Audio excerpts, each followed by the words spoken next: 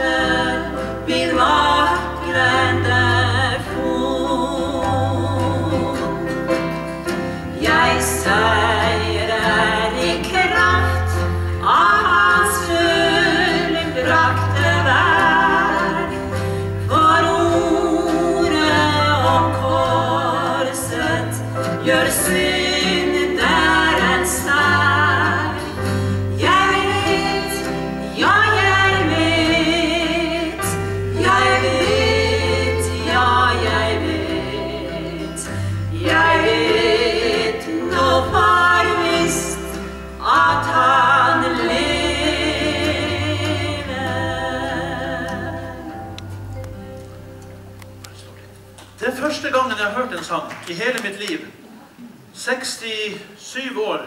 Jeg har aldri hørt den før. Leonard Gudmundsen. Leonard Gudmundsen.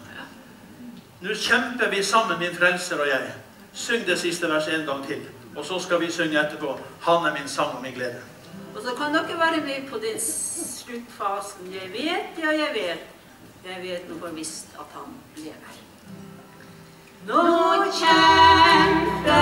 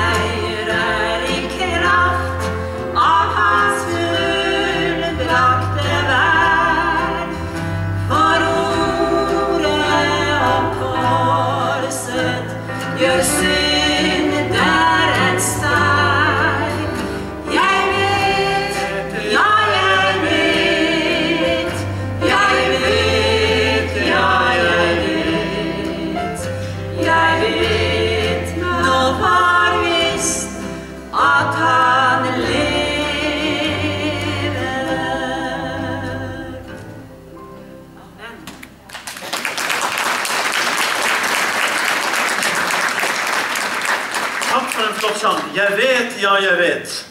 Og jeg håper at når vi går ut ifra dette gudshuset som det er i kveld, så vet vi at vi er i selskap med Han som sa 'Kom til meg, alle som strever og har tungt å bære'. Og Så slutta det ikke der, men han sa 'Og jeg vil gi dere hvile'. Edur, han er min sang og min glede. Han er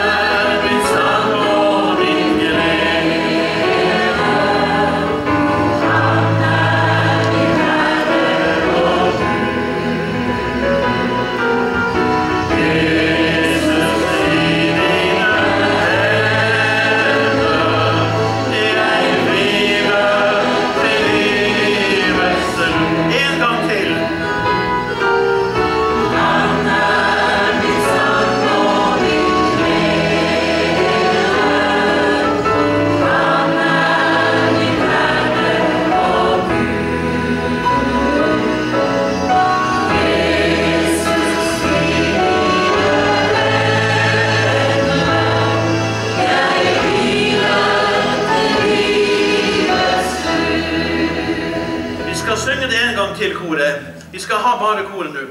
Men jeg kan ikke se forsamlinga så godt, for det er jo dempa belysning. Så jeg kan ikke se om kart og terreng stemmer i overens når vi synger 'Han er min sang og min glede'. Av og til så ser vi så alvorlige ut når vi synger det. Men nå kan vi få lov å se litt glad ut. Og dette sa jeg for ja, 40 år siden når vi var stasjonert på Sagene i Oslo. Så sa jeg til forsamlingen Men kjære dere, kan dere ikke se litt glad ut når vi synger? Da spratt det opp i gammel tante i salen. Og det var ei høy plattform, og langt der nede så jeg på henne. Så sa hun Løytnant, gå se deg sjøl i speilet.